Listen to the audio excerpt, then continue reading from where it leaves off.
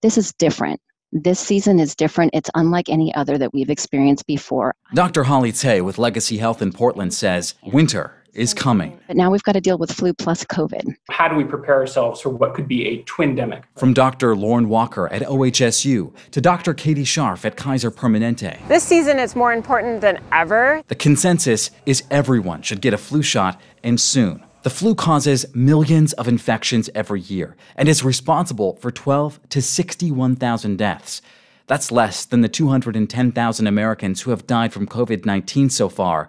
But doctors say the flu poses other concerns. They can both cause identical symptoms. Now, during this season, we have to keep in mind that possibility of this could be flu or COVID. From a fever and cough to the aches and pains, people who get sick with the flu can't know for sure what they caught. That leads to more sick people worried about COVID 19 clogging up the medical system. That's why groups like Kaiser are shifting gear, moving flu clinics outside. This one last weekend let people drive up or wait in line. I like how we're all spaced out as we lined up and we're going through a tent to get our shot, and it feels better. Ready? On Saturday, Kaiser gave out 10,000 flu shots, four times as many as its first day of flu clinics last year. Clinics run six days a week through October. Online resources like Vaccine Finder can help too. Just enter the vaccine type and your zip code to find providers near you. Shots are usually free with insurance or up to $35 out of pocket.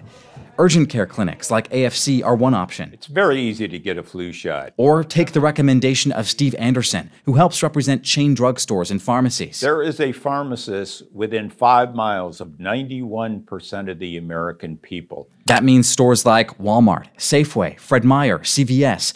But no matter where you go, it's best to call ahead or know the setup. You should not be waiting for a long time in a crowded waiting room. The good news is health officials believe rules put in place to stop the spread of COVID 19 helped slow down the spread of flu last year. U.S. schools closing also helped.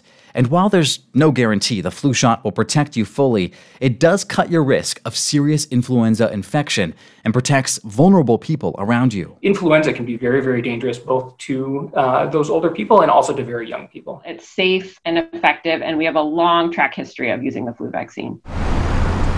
Interest is high this year, but doctors say as long as you follow health guidelines like distancing and wearing a mask, you're safe to get your flu shot. The small risk of encountering illness in a clinical setting to get your flu shot is really far outweighed by the benefits of getting the shot. In Portland, I'm Galen Ettlin for KGW News.